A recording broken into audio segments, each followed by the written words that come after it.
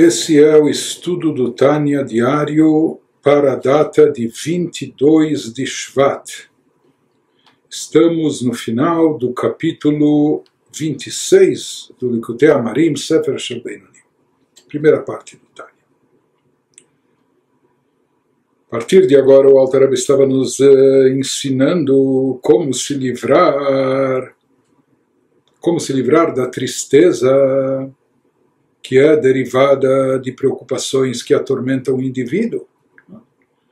Então ele estava nos dizendo que, em primeiro lugar, nós devemos saber identificar que tipo de, de preocupação está abatendo a pessoa. Então, se são preocupações de ordem física e material, mundanas, terrestres, daquilo que acontece com a pessoa nesse mundo, nas diversas áreas, relacionadas com filhos, com saúde, com sustento, etc. Então, ele nos falou anteriormente como lidar com isso. Se a pessoa se vê acometida de, de, de sofrimentos eh, nessas áreas que, que lhe abalam, ou lhe trazem dor, sofrimento, como reagir a isso de forma a não se preocupar e de forma a não se entristecer e se abalar, pelo contrário, conseguir manter-se firmemente alegres.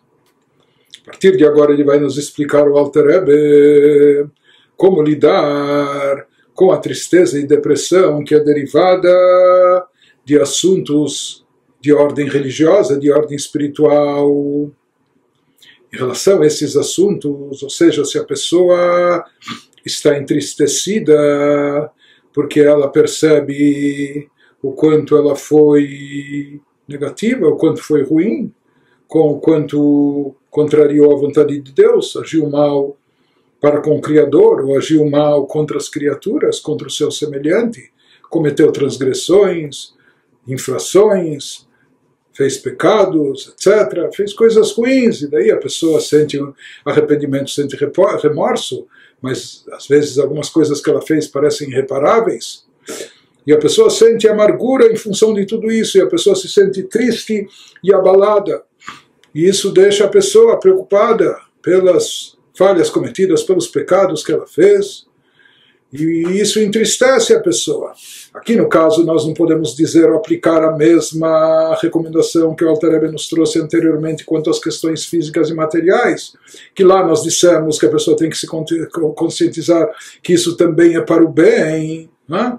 E portanto a pessoa não tem que se entristecer, tem que aceitar até alegremente os sofrimentos. Mas aqui, nesse caso de tristeza associado às falhas de caráter da pessoa, às transgressões cometidas, aos erros que nos relacionamentos que ela afetou outros e assim por diante. Então, aqui a pessoa não pode aplicar essa mesma regra, porque isso não veio de Deus, isso é derivado da sua má escolha, do seu livre-arbítrio. Né? Então, influência, o fluxo de energia divina, aquilo que, por assim dizer, desce dos céus, o que vem de Deus, já que lá de cima nada, tudo que vem de Deus é bom, Deus é a essência do bem, não há coisa ruim que, que venha, que desça de Deus. Né? Portanto, nós falamos que isso na realidade é bom, tudo que vem, só que existem às vezes tipos de, de bem que nós não conseguimos enxergar a olho nu. Mas, mas daí se fala mesmo aquilo que aos nossos olhos parece mal, no fundo é bom. Por quê? Porque veio de cima de Deus. Mas isso não se aplica àquilo que vem de nós e não de Deus. E aqui, eh, os pecados nossos e transgressões, a gente não pode culpar a Deus ou dizer que Ele é o responsável. Ele me criou assim, Ele, ele me deu os pais que eu tive, ele, a educação que me deram, etc. A pessoa não pode se omitir, não pode se excluir eh, da responsabilidade. Portanto, aqui, no caso de más escolhas, de erros cometidos, de falhas, de pecados, transgressões, isso não veio de Deus, mas sim veio, veio da escolha da pessoa, aquilo que a pessoa optou em fazer. Portanto, aqui o mal não é um mal, algo que vem de cima dos céus, mas sim que vem de dentro da pessoa.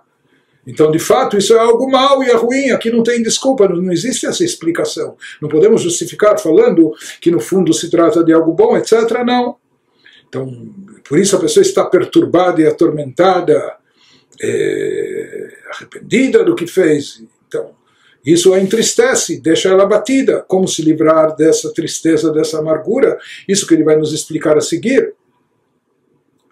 E aqui ele nos fala em relação às coisas mundanas, problemas de ordem mundana terrestre, problemas de saúde, Deus nos livre, problemas nos relacionamentos, Shalom, problemas eh, com filhos ou problemas na área de sustento. Em tudo isso a pessoa não precisa buscar ideias, fórmulas e conselhos de como se livrar disso. Nós explicamos, apenas a pessoa tem que se conscientizar, explicar para si mesma que tudo que vem dos céus é bom, e a pessoa tem que saber acreditar nisso, e tem que saber aceitar isso, e não só aceitar, mas alegremente. Mas aqui, quando se trata de, de como reagir e como lidar com a tristeza derivada das nossas falhas de caráter, que causaram falhas e transgressões, causaram pecados ou ou eh, fizemos mal a outros e assim por diante. Aqui é necessário de ideias, se fazem necessárias ideias, fórmulas e conselhos. Porque por mais que esse tipo de tristeza é, é algo genuíno, ou seja, a pessoa tem aqui tem de fato do que estar decepcionada consigo mesma é? triste e atormentada, mas mesmo assim nós vamos ver que a pessoa tem que saber se livrar dessa tristeza, sem ser leviana, sem, sem se omitir da responsabilidade, de assumir a responsabilidade pelos seus atos ruins, mas a pessoa tem que se livrar aqui da tristeza que está envolvida com isso. Isso que nos diz o Alter Rebbe, Achatzvut mimile dishmaya, tzarich lashit eitzot benafsho lipater mimena.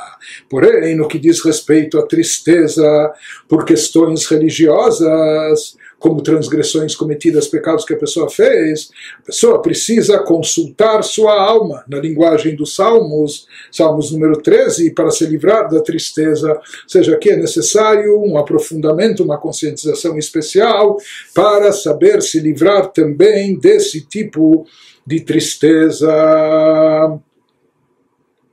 אין צריך לומר בשעת עבודה שצריך לעבוד השם בשמחה ובטוב לבב.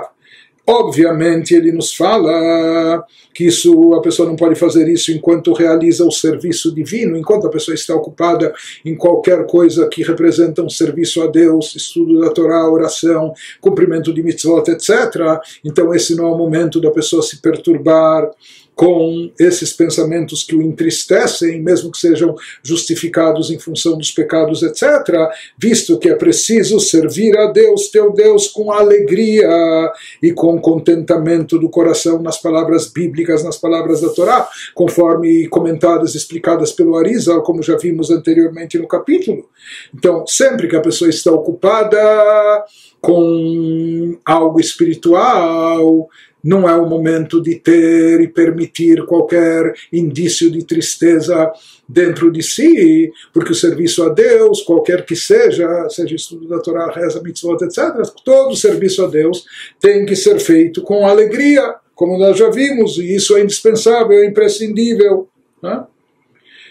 Mas ele nos diz algo mais, então com certeza o momento da pessoa ficar se remoendo ou com remorso pelos pecados ou arrependimento que entristecem e amargura que isso causa, não é durante o serviço espiritual a Deus, não é durante a Torá, durante a Tfilah, a reza, não é durante as mitzvot, que tem que ser feitas com alegria. Mas ele nos fala mais do que isso. Ela, filho, Misheu Bala Sakim Vederecheretz, contudo, mesmo que aqui se trate de uma pessoa que esteja envolvida em negócios e afazeres mundanos, ou seja, essa pessoa, ele tem os seus horários de reza na sinagoga, seus horários de estudo da Torá, mas há uma boa parte do dia onde ele está ocupado com ele tem o seu trabalho, tem a sua profissão, tem os seus afazeres mundanos. E se nesses momentos, aqui oficialmente não é um serviço a Deus, são os afazeres corriqueiros, triviais da pessoa. Então, se nesse momento, se nessas horas, numa dessas horas a pessoa sentir essa amargura, talvez então que ele, já que ele não pode se aprofundar na tristeza, amargura pelos pecados cometidos durante o serviço a Deus, então quem sabe na hora do seu trabalho, dos seus negócios, não é? Nos diz o Alter não, isso também não é válido, não é legítimo. Im nofelo etzev vedaga mimile dishmaya. בשעת עסקיו, בידוע שהוא תחבולת היצר כדי להפילו אחר כך בתאוות חס ושלום כנודע. Ele nos diz mesmo uma pessoa que está ocupada com os afazeres mundanos e lhe ocorra um pensamento triste, melancólico pelos pecados cometidos, etc., ou uma preocupação por questões religiosas, enquanto a pessoa está fazendo negócios. Imagina, ele está no seu escritório, ou ele está na sua loja, ou o que for, e de repente ele começa a ficar amargurado pelos pecados cometidos, etc. Né?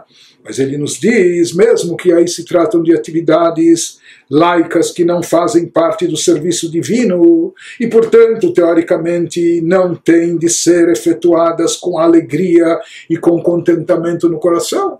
Então, nós sabemos do Arisa ali da Torá que a pessoa tem que estar alegre ao rezar, ao estudar a Torá, cumprir mitzvot, mas não está escrito que a pessoa tem que estar feliz e vibrante na hora do, do seu trabalho, na hora dos seus negócios, no seu escritório, na sua fábrica, o que for. Né? Porém, ele nos diz, então, aparentemente aqui, se, se a pessoa se viu acometida por algum pensamento ou sentimento de amargura e melancolia em função dos pecados, quando ele se encontrava no, no, no, seu trabalho, nos seus afazeres corriqueiros. Poderias pensar que não há restrição, então, aqui, já que não se trata de um serviço divino. Porém, diz o Alter Ebe, não, isso também não é apropriado. Trata-se, sem dúvida, de uma tática do impulso para o mal, que visa enfraquecer a pessoa. Ele nos fala que o Yetzirará é um estrategista e ele usa todo tipo de táticas. Isso, na verdade, ele nos diz que a pessoa não pense que ele está sendo um grande tzadik se no meio do trabalho e negócios ele começar a se remoer de remorso e ter amargura pelos pecados. Ele nos fala isso também não é apropriado nessa hora porque isso, no fundo, é uma tática do impulso negativo que visa enfraquecer a pessoa para depois de se sentir triste, a pessoa acabe sucumbindo aos seus desejos. Deus nos livre, como é sabido por todos. E aqui o Alter Ebe está entrando em nuances, está se aprofundando de forma muito sutil. Ele está desvendando mistérios do, da nossa alma e do funcionamento da nossa psique. Ele nos diz uma pessoa que não leva uma vida só espiritual e, religiosa, não é uma pessoa que está sentada estudando o Torá rezando o dia todo, mas não, uma pessoa que eles têm os seus horários de reza e estudo, mas a maior parte do seu dia ele dedica ao trabalho trabalho profissional, etc. A gente podia pensar, bom, se nessa hora ele estiver meio entristecido, melancólico ou amargurado pelos seus pecados, teoricamente não haveria nada de mal e negativo, porque não está escrito em nenhum lugar da Torá que a pessoa tem que fazer o seu trabalho eh, feliz, alegre, entusiasmado, etc. É? De qualquer forma, nessa hora ele não está a serviço de Deus, teoricamente, é? e já que esse, esse essa, é, essa preocupação, essa tristeza é de origem espiritual, e poderia pensar que então até é válido. Mas na realidade ele nos fala que isso é uma tática do Yetzerará, do Yetzerará fantasiado, escondido, ele parece aqui estar querendo dizer para a pessoa, até na hora dos negócios, ter preocupações espirituais, mas na verdade é uma tática do Yetzerará para levar a pessoa à melancolia, à tristeza e à depressão. Com que objetivo? Para que depois ele possa fazer a pessoa cair e tombar em prazeres e paixões mundanas, porque Yetzerará conhece bem a nossa natureza, a natureza do indivíduo, do ser humano. O ser humano ele sempre procura conforto, ele sempre procura algo que é bom, ele procura se sentir bem, procura algo agradável, algo que lhe cause prazer. Então ele sabe que a pessoa não vai aguentar ficar muito tempo nesse estado de melancolia, de depressão, porque isso é antinatural. A pessoa gosta de felicidade, a pessoa gosta de, de prazer, de, de satisfação, de, de realização. Então ele sabe que no momento que ele vai levar a pessoa a esses pensamentos melancólicos, a esses pensamentos depressivos, logo em seguida, o que, que a pessoa vai querer fazer? A pessoa vai querer compensar e sair desse estado de espírito, desse sentimento. E como a pessoa vai fazer isso? Deus nos livre cedendo aos seus impulsos, eh, a paixões ou caindo em desejos, buscando autossatisfação, independente se isso é bom ou mal, se isso é permitido ou até proibido.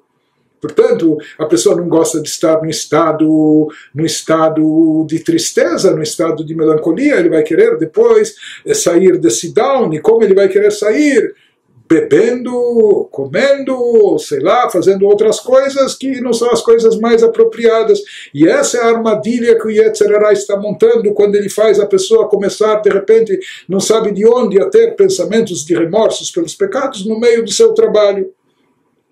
E ele nos diz que a evidência disso é Sheim loken me'ain ba lo atzvut amitit Mahmat Avat Hashem Beemtza Sakav, porque se não fosse assim, se não fosse uma artimanha armadilha do Yetzerará, da inclinação negativa, de onde viria para a pessoa a tristeza justificada? Esse tipo de tristeza pelos pecados cometidos, pelo, pelo não aprimoramento do caráter, pelo malefício causado a outros, etc., é uma tristeza justificada. Porém, ela tem que ter, como o Alter vai nos dizer, ela tem hora, ela tem que ter hora marcada, ela tem que ter a hora certa de se manifestar.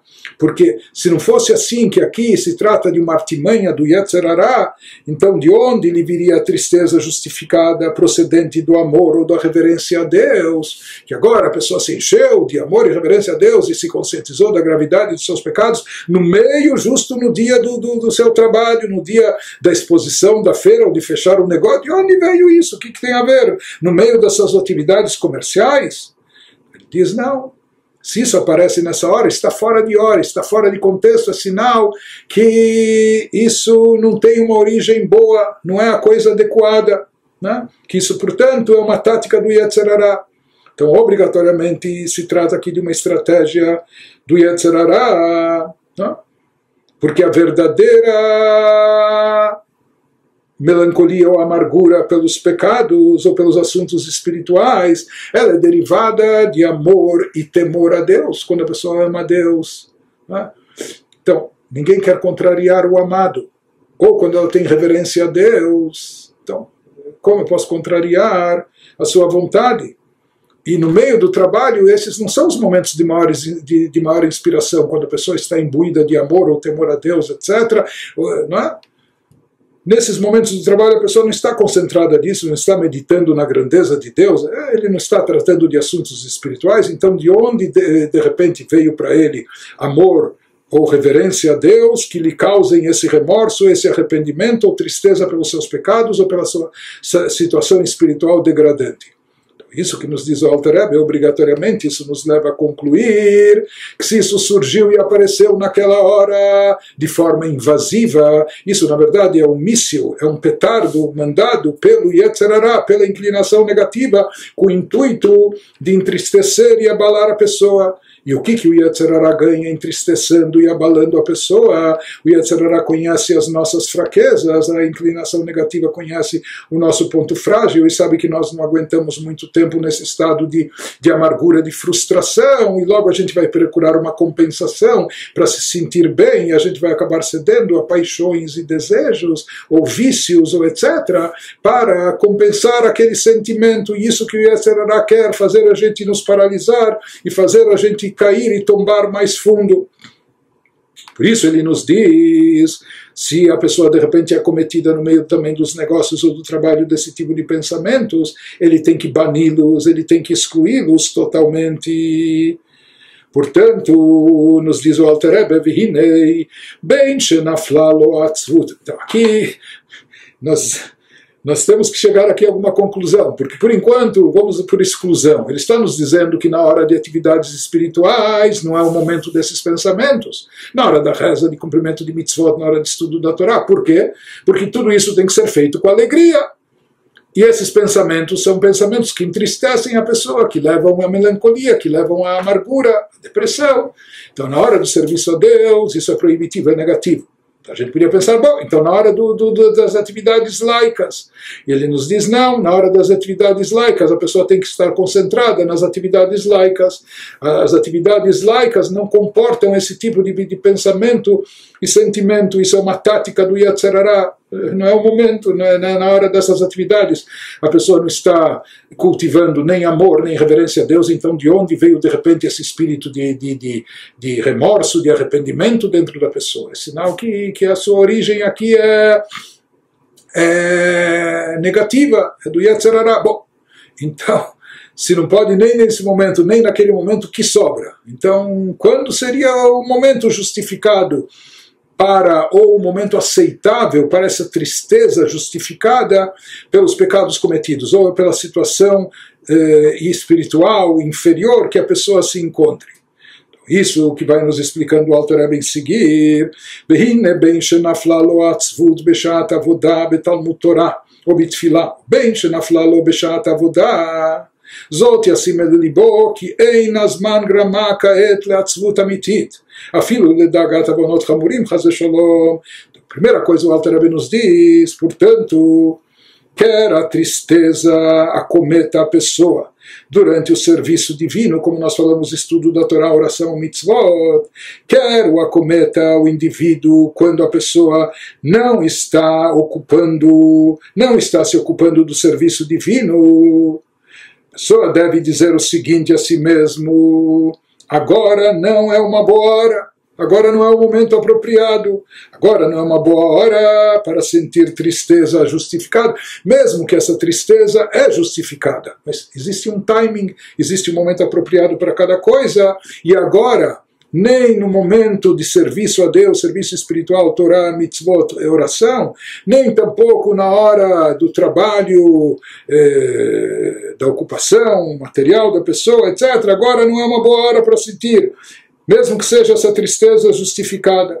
Não é sequer a hora certa para eu me preocupar com transgressões graves, Deus nos livre. Mas a pessoa pode pensar, puxa, mas aqui o que está em jogo, o que está na sua mente, são pecados graves que ela cometeu a pessoa, e isso não lhe dá sossego.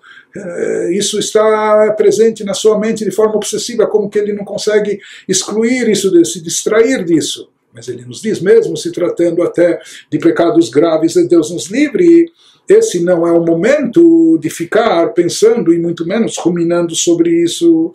Bom, então qual seria o momento se não é na hora das atividades eh, espirituais religiosas, nem na hora das, das atividades laicas? Então ele nos diz: Rak lezot tzarich kviut eitim veshat kosher ביישוב הדעת להתבונן בגדולת השם אשר חטא לו, כדי שעל ידי זה יהיה ליבו נשבר באמת במרירות אמיתית, וכמבואר את זו במקום אחר. Ele nos diz que esse trabalho de introspecção genuína tem que ser programado. Isso não tem que ser é, pode parecer muito bonito, sabe, espontâneo, veio de repente, mas diz, não, tudo que vem aparece de repente ou do nada, desconfie, questione. Aqui, essa tristeza pelos pecados ou pela, pela falha de caráter, etc., é justificada, é válida. E realmente deve haver uma tristeza, isso deve incomodar a pessoa. Mas isso é um trabalho, e esse trabalho de introspecção genuína requer sessões programadas especificamente para isso. Isso tem que ser programado. A pessoa tem que parar e se programar. Sabe o que? Eu vou ter o um momento apropriado no local apropriado. Não é na hora da, da reza, do estudo, etc. E não é tampouco no meio do trabalho. Se eu tenho que me arrepender, se eu tenho que cultivar o remorso, se eu tenho que me conscientizar dos males feitos e provocados contra Deus, contra outros, contra si próprio, etc., eu tenho que fixar horários para isso e de forma equilibrada, de forma ponderada, é? meditar sobre isso, refletir sobre isso, se conscientizar acerca de tudo isso, etc. Se é uma coisa séria, se eu quero não apenas ter um espasmo ou algo assim impulsivo, ou de repente que isso também vai evaporar sem, sem deixar eh, vestígios e sem deixar consequências positivas impactantes, se eu quero realmente fazer uma autoanálise, um inventário pessoal, um balanço da minha vida, da minha espiritualidade, isso é válido, é justificado, mas tem que ser algo programado. Eu tenho que fixar uma hora. Sabe o que é? Reserve um fim de semana para isso, ou um domingo, ou um dia de férias, ou tire um dia de folga, ou um horário adequado, e daí você se feche em uma sala e medite, reflita, etc. Mas isso tem que ser feito de forma programada. Pessoa tem que procurar um momento apropriado para, com a mente calma, refletir sobre a grandeza de Deus contra quem ela pecou, de maneira que o seu coração fique verdadeiramente partido com o remorso sincero, e não apenas um espasmo assim, que, que da mesma, com a mesma rapidez que surgiu, com a mesma rapidez vai desaparecer e evaporar também. Né? Por isso ele nos diz, isso tem que ser feito de forma, de forma programada e aquilo que vem por si só é, não só desconfie, mas é contestável. Isso é uma armadilha do Yetzirah, como, como nós já vimos. A pessoa tem que estipular um horário, fixar um tempo, local apropriado etc. E daí investir nisso.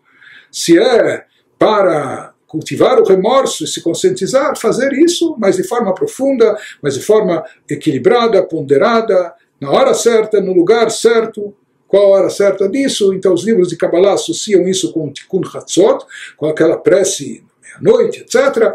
E de forma mais acessível, próxima e realista para nós, também os mestres e mentores racídicos dizem que isso, está, isso deve ser feito, esse momento deve ser no final do dia, antes da pessoa dormir, ao encerrar o dia, como um balanço do dia, particularmente na hora do Kriyat Shema Shalamitah, na hora da recitação do Shema Israel, antes de dormir, esse é o momento apropriado para a pessoa fazer um balanço do seu dia, uma autoanálise, uma introspecção e se conscientizar dos erros cometidos e se arrepender e decidir não reincidir e corrigir isso nos dias seguintes e assim por diante. Ele nos diz que então isso está explicado em outros lugares já na terceira parte do Tani, que ele vai falar qual o momento adequado disso ser feito. Besham nidbaer gam ken miad, e ele nos diz uma outra coisa muito importante, que nesses lugares, nos tratados de Tshuva, também é dito miad achar shenishbar libo beitim kvuim ahem, azai asira etzev melibo legamrei. Veyamin emuná shleimá, que Hashem evir chatato. Então, em outros lugares se explica quando deve ser essa hora, como nós dissemos, antes de dormir, etc. Mas lá também se esclarece que durante essas sessões a pessoa deve se aprofundar na introspecção, que deve gerar um arrependimento, um remorso, que eventualmente traz junto consigo amargura, dor, tristeza, melancolia, mas imediatamente depois de ter o coração partido, nesses lugares se explica também que a pessoa deve não insistir nesse sentimento, e sim fazer um switch, uma mudança, e sim eliminar completamente toda a tristeza do seu coração, acreditando com fé perfeita que Deus apagou o seu pecado e é muito clemente.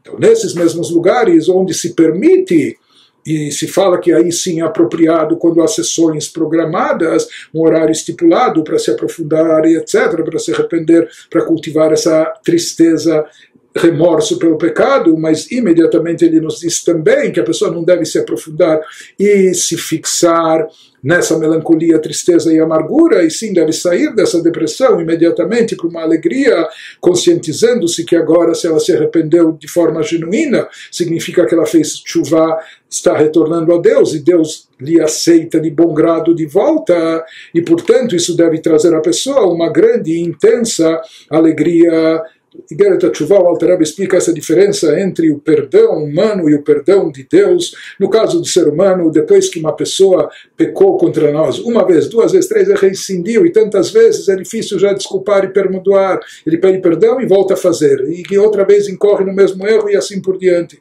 Então, depois que isso já aconteceu várias vezes, é difícil perdoar.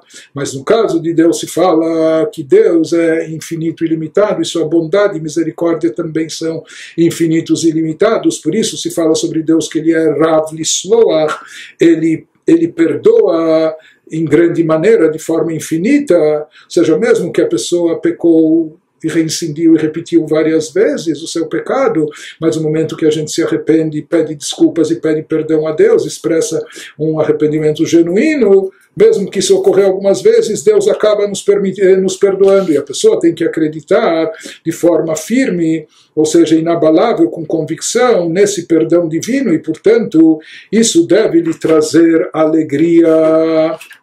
Inclusive, Inclusive os mestres racílicos, eles também falam que aqui existe uma outra artimanha, uma outra tática do Yetzerará, da inclinação negativa, às vezes querendo dizer à pessoa quem garante que você fez chuva de forma adequada?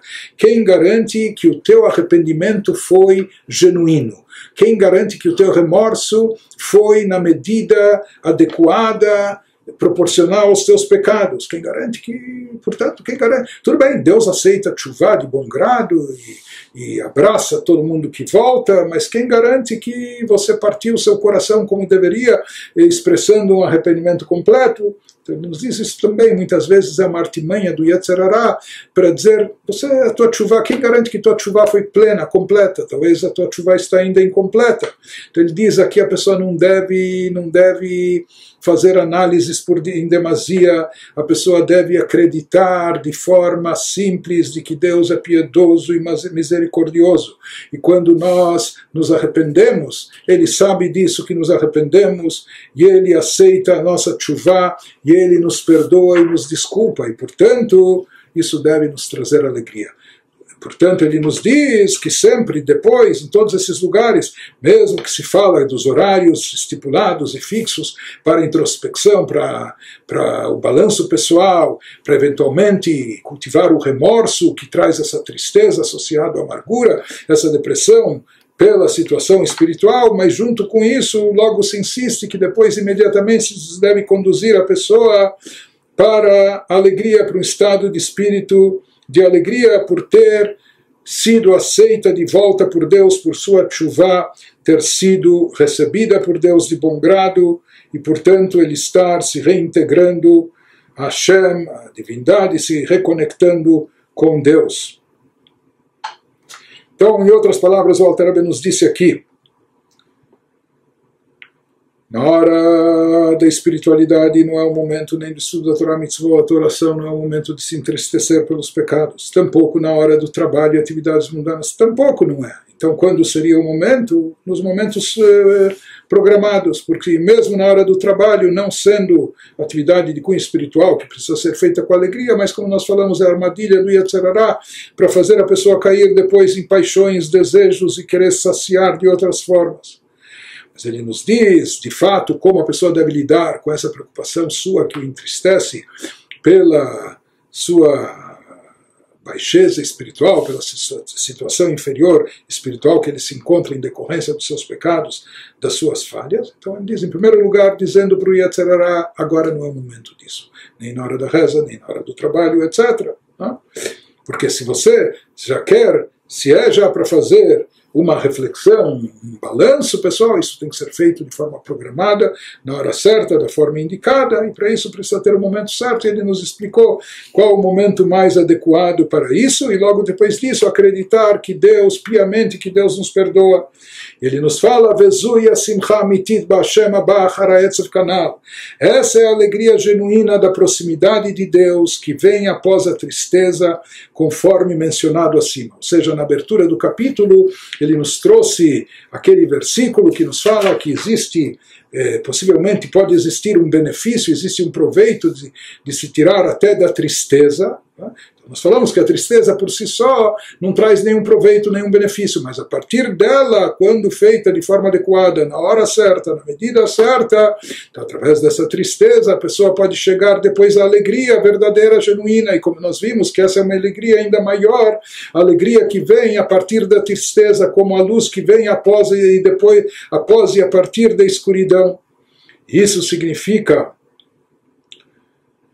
que esse tipo de tristeza que vai conduzir a isso é um trabalho e precisa ser precisa ser programado e precisa ser com sessões específicas nos horários adequados e que a pessoa cause essa essa amargura dentro de si, não é? pela situação espiritual e daí ele vai poder a partir disso chegar à alegria genuína, sabendo que Deus perdoou seus pecados e o aceitou de volta, aceitou a sua chuva. Que nós vemos daqui, que mesmo nesses horários específicos, onde é legítimo a pessoa tratar e se aprofundar nesse sentimento, mas também logo depois a pessoa precisa logo sair disso e partir para o campo da alegria. E aqui nós vemos também enfatizado mais uma vez algo que é um moto do Alter Rebbe, que ele traz muito no Tânia, o conceito de Moach Shalit Alolev, do, do intelecto regendo as emoções, o coração. Ou seja, o Alter aqui, ele, ele, depois que ele nos explicou toda a anatomia da alma, e para isso ele nos explicou, e todo o funcionamento da psique humana, e como são regidos os nossos, os nosso, nosso intelecto, e os nossos sentimentos, e como funciona o nosso pensamento, o pensamento gera sentimento e etc. Então aqui nós vemos que o Alter Rebbe, ele não só que insiste, ele, ele se baseia muito nesse ponto e diz, você é aquilo que você pensa, e aquilo que você pensa é o que vai gerar aquilo que você sente. Portanto, o Alter Rebbe diz, puxa, mas eu estou me sentindo triste, melancólico. Ele diz, bom, então se você está se sentindo assim, você precisa pegar o, né, o controle e mudar. Né? E como se faz isso? Através do pensamento, através onde você vai concentrar o seu pensamento, através da, da reflexão, da meditação. Então, esse, esse, esse conceito de que nós somos donos dos nossos sentimentos. Às vezes nós temos sentimentos né, que nos acometem, sentimentos fortes, mas o Alter insiste nisso. Nós somos criaturas humanas dotadas de intelecto, a cabeça está acima do coração. O intelecto pode dosar as emoções e pode, pode acomodá-las na, na medida certa, etc. E nós devemos fazer uso disso, e como ele nos explicou nesse capítulo, como encarar os dissabores e, e dificuldades, e às vezes pior do que isso, seja no campo material, mundano desse mundo, seja nos aspectos espirituais, como controlar isso essencialmente através do nosso intelecto, através da nossa visão, sem se deixar abater, sem deixar essas preocupações tomarem conta é, de nós, sem se deixar abater em favor da, da depressão, da tristeza, da melancolia, e sempre mantendo um estado de alegria, que isso é essencial e vital para o indivíduo, para todos nós, como nos explicou o Alter e com isso nós concluímos esse capítulo.